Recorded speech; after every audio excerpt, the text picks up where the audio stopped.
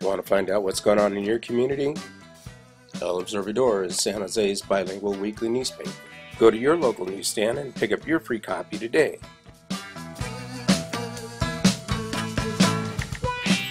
Looking for the training and skills you need to get a new career? Call Center for Training and Careers today. That's CTC at 408 213 0961 and start building your new career today.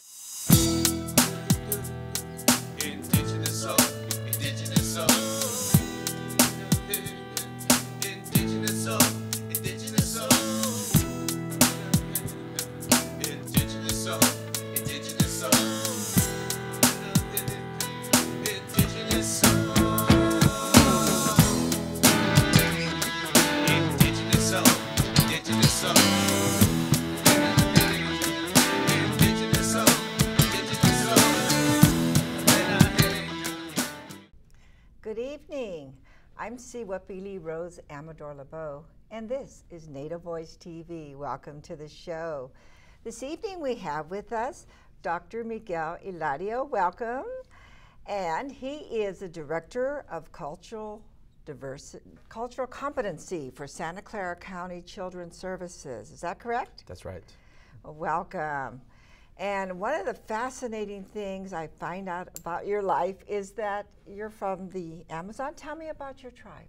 Yes, Rose, thank you very much for your kind invitation to be here. It's an honor to be here and to discuss with you about my own journey here from the Amazon to uh, Silicon Valley, as well as to share uh, what we are doing uh, at the Office of Cultural Competency um, here in Santa Clara County, and to make sure that you know our children and youth have the right to um, have the opportunities and have a dignified life. That's right. Well, you're doing a wonderful job so far. Thank so you. tell me about your childhood. Well, and uh, I belong to the Shipibo Conibo Nation. Uh, we are around 35,000 people uh, in the eastern part of the Amazon, which is um, uh, near the border with, Brazil. You know, Amazon rainforest is, um, is, is, is a region that composes different countries. You know, Peru, Brazil, Bolivia, and Venezuela, and Colombia, Ecuador, and um, uh, Su- Suriname, and Guyana, uh, where around um, thousands of native peoples live. You know, we have been living there uh, for almost, I mean, some anthropologists say that we have been there for almost 16,000 years ago. We arrived there. And uh, so for me to be here and talking with you about it's a great honor. So I I grew up as a monolingual uh, person. I uh, only spoke Shipibo, my native language. And uh, when I was 11 years old, I had a dream. I had a dream that someday I wanted to learn Spanish, and also someday I wanted to learn the language of the white people, the missionaries, because they have arrived there in around 1940s. Um, uh, they brought, uh, you know, Christianity. They also brought um, bilingual schools. They also brought um, health posts uh, for our communities. Uh, but I also had a third dream, uh, which was that I wanted to um, someday to come to the land of the white people. And I also had the desire to someday um, become a minister, a preacher. So, with those four uh, visions and goals uh, in life, I left my tribal village, came to a Hispanic town in the jungle called Pucallpa, where I was um, living and working, you know, as an 11 years old boy, sort of lost in the, you know, uh, in the big city of, of of the middle of the jungle. And, uh, but I learned Spanish quickly. I went to high school there, finished high school, and, And then you were by yourself. Yes, I was by myself. goodness. Yes, I was working as a janitor for a Hispanic family in exchange of food and board. You know, I was determined that I wanted to, to go to school. I wanted to learn Spanish, and I didn't care what it really um, um, cost. You know, in terms of sacrifice. You know, leaving my family, leaving my own you know tribal safety, because you know in the village, you know, we were surviving by um, fishing, hunting, and gathering no electricity and uh, no running water.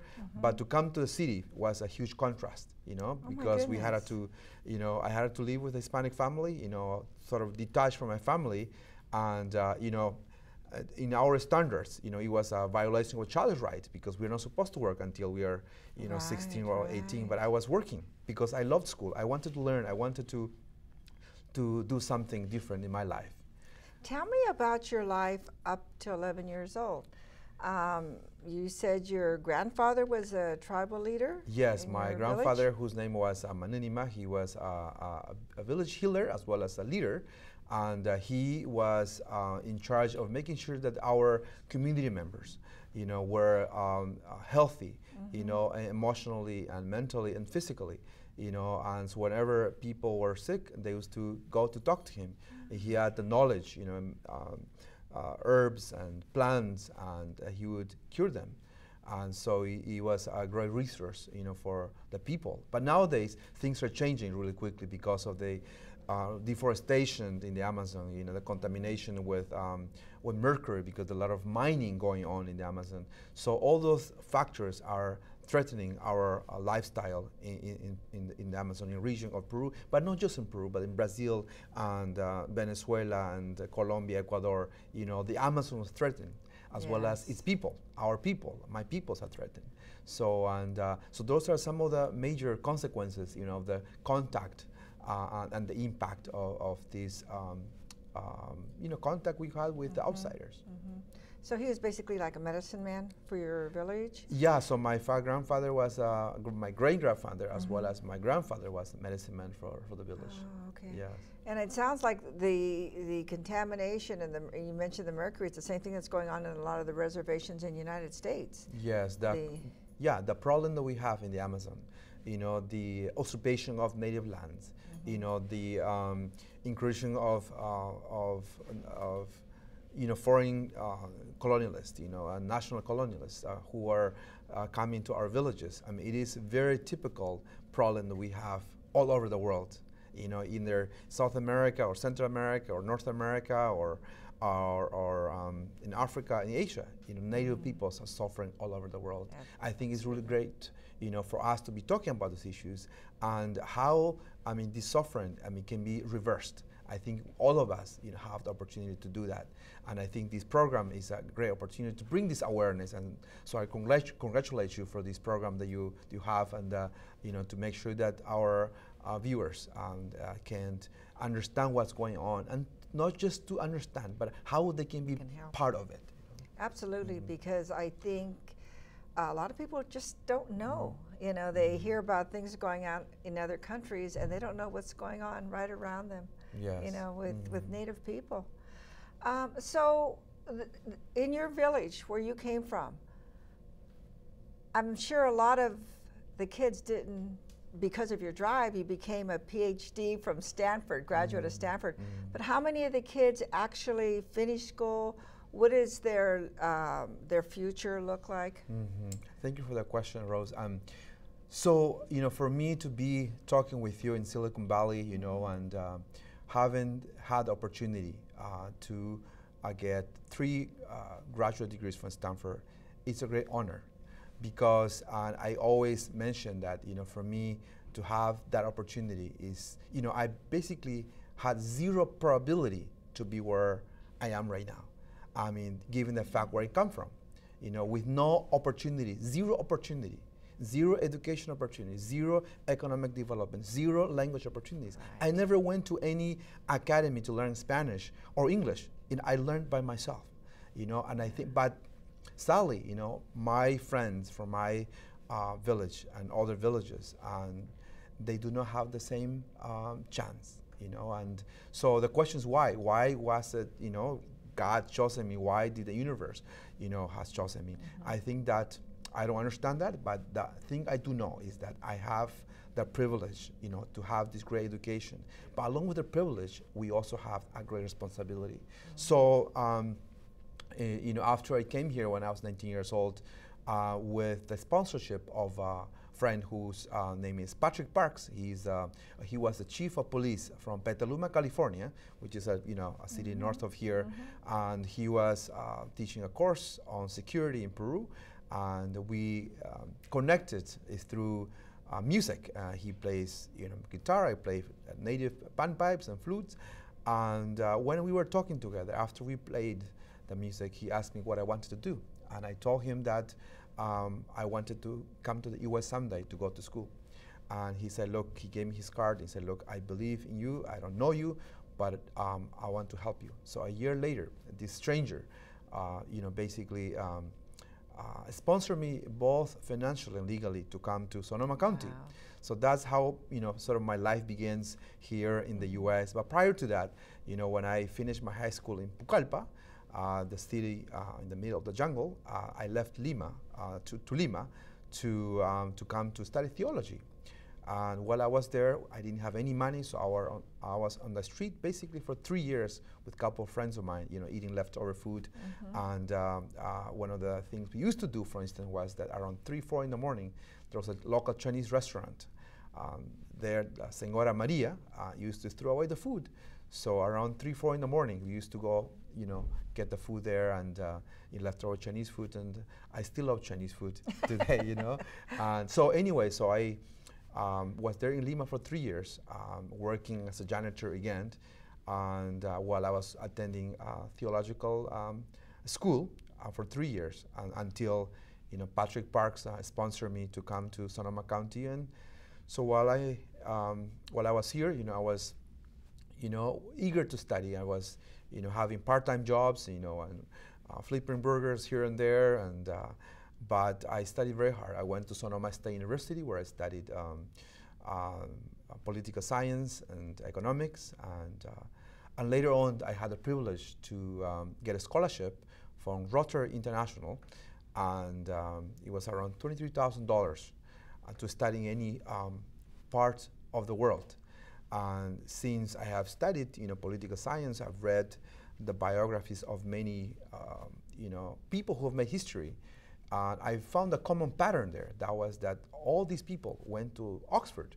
So I was like, you know, Oxford must be a good university, so I'm going to apply to Oxford. So I applied to Oxford and um, got into Oxford to study politics and philosophy. And uh, while I was there, I had the opportunity to bring the voice of the native peoples and their plight, you know, their struggles, you know, against uh, the government, their struggles against, you know, um, uh, the pressure that comes into their lands, both spiritual, cultural, and ecological. And uh, after that, you know, I came back to um, to California, um, as you just mentioned a minute ago. I had the privilege to be uh, admitted to Stanford to do a MA in politics, then uh, later on the PhD in anthropology. So from then onwards, you know, I've pursued uh, my international career with the United Nations as well as with um, Inter-American Development Bank as a specialist on the rights of women and the rights of children and Native peoples. So making sure that in any policy that um, uh, that the governments adopt or any kind of policy that in, uh, international institutions adopt, native peoples are included. You know, the women are included, children are included. So that's what I've been doing, you know, in the last few years. And um, so I came back, you know, uh, here to my second homeland. Uh, This is uh, my community. This is my homeland. This is the country uh, and the county that gave me so much and I'm really honored to be back here. And when I saw, you know, the opportunity to um, to come to serve here, uh, you know, our people as a director of cultural competency with Santa Clara County Government, I applied and. Uh, I was given the honor and to, to come here as a director of cultural competency, so and uh, so that I can uh, be a bridge between the Santa Clara County government and our communities, both Native Americans and uh, Hispanic, you know, uh, Americans as well as um, and, uh, African Americans. You know, uh, those communities are the most underprivileged. And Rosa, this county, Santa Clara County, has a GDP of 180 billion dollars when you sort of sum, um, summarize, when you sort of sum up the GDP of all the um, um, Central American countries and Caribbean countries, they don't even reach to that. And we only have 1.5 million people. You know, I think the county is privileged to have you here. It's the other Thank way you. around.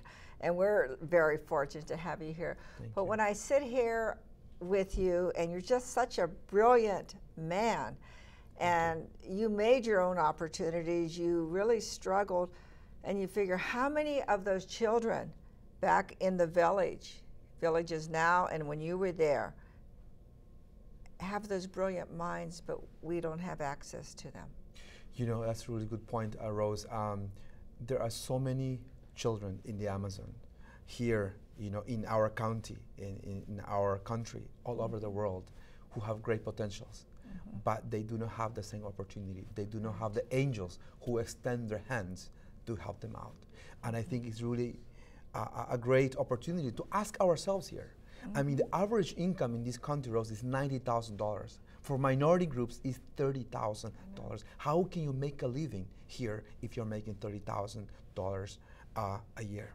So uh, my job is to uh, make sure that our kids, you know, have the same opportunities, and to also to to uh, bring awareness that our ki- our children, our youth, have tremendous opportunities in this county and in this country. Yes, we do have the problems of, of malnutrition. We do have the economic problems. You know, we have by you know some of us live in bad neighbors.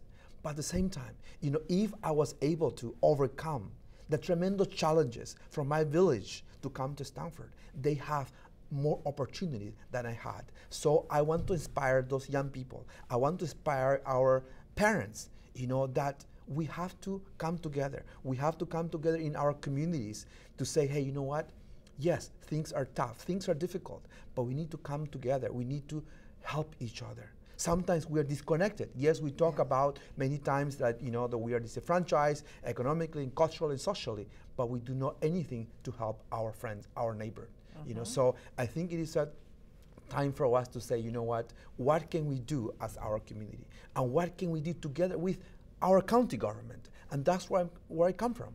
So know. this is a new position, right? This for is Santa a new Clara position County? that uh, Board of Supervisors and have uh, approved last year, and so this is the first position actually in the state of California that a county opens a position like this to tackle the issues of disparity, you know, economic disparity and legal disparity, as well as you know disproportionality that um, our children in the foster care suffers, as well as our uh, youth in probation departments. So those are some of the uh, uh, uh, key things we're going to be working on. But most importantly, you know, I'm here to say that at the Santa Clara County government, we are open. We are, and uh, not just open, we're committed. You know, not just from the, front, I mean, not just from the social service department, not just from the probation department, but you know, uh, my boss, uh, Jeff Smith, who is the county executive, is committed uh, to make sure that all people, all children and youth have the same opportunity. And uh, so this office um, reports directly to, um, uh, to Jeff Smith as well as to the Board of Supervisors.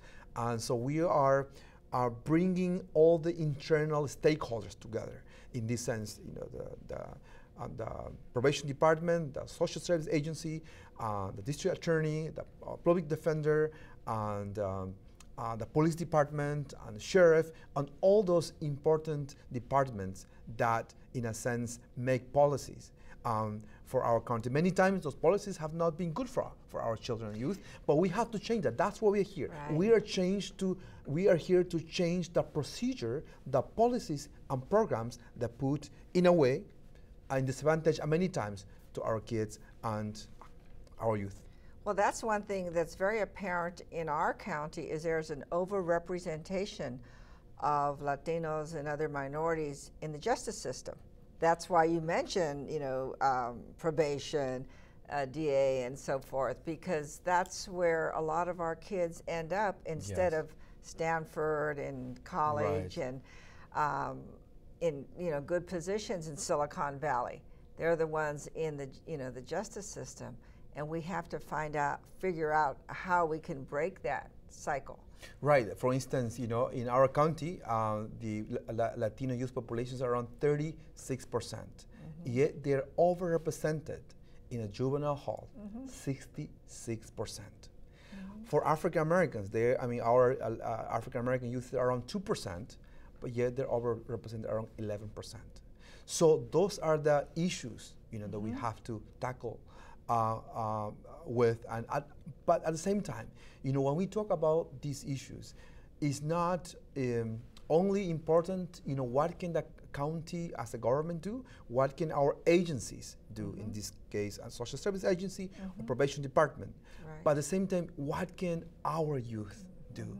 You know, so it boils down to individual decision of the youth. We need to empower the youth. We need to provide them the opportunities. At the same time, they cannot be sort of crossing their, their hands and waiting what you know can the community do. Mm-hmm. He or she has to get up. I was able to do it Right. without the help of anybody. So I want to inspire them. Hey, you know what? You can do it. You know, you can sort of get up from this from this problem. But most importantly, we need to tell them that he's not or she's not alone. You know, we have to come together as a community, but at the same time, for our, our government, we are here to empower them. You know, to make sure that, for instance, you know, probation department is working to make sure that all those kids who are in trouble, you know, they uh, finish their GED, for instance, you know, but we need to think beyond GEDs. We need to uh, think about, I mean, your work, you know, at the CTC is a great opportunity to empower them, empower them so they can go beyond high school diplomas, they can get, you know, some technical degrees, but at the same time, you know, I- and I, you know, if, if you're here, I mean, if you're hearing me, I want to tell you that you too can go to Stanford. You too can go to UC Berkeley. You too can go to Yale or Harvard. You know, the only thing that you need to um, think about is that that you need to have a desire, you need to have a dream, and it doesn't cost you anything to have a dream. And that's the message for our young people today. You know, I want them to to think beyond their problems. I want our parents to think beyond our problems. I want them to to believe in something, either in God or either in something, believe in something. But you need to have that belief in combination with a vision and dream and having, you know, in putting in action those visions and dreams, you know, things will come. Great things will come. Absolutely, and you're just a wonderful role model when we talk about, you know, overcoming obstacles and barriers because some kids and even adults say, oh, it's too late. It's too late. And I have to give a shout out to Kwasiwa Trinidad, who just got her uh, BA from the National That's Hispanic great. University. She's one of the producers of the show, has been working great. on for years. About a year ago, she got her AA, now she got her BA. And she's working full time for the Native Wow. TANF program. Wow.